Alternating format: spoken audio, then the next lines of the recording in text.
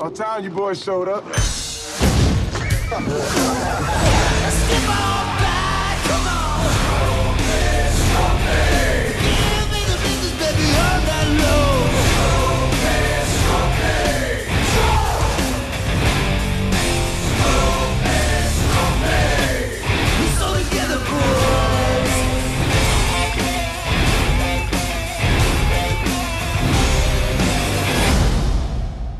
Lots to digest.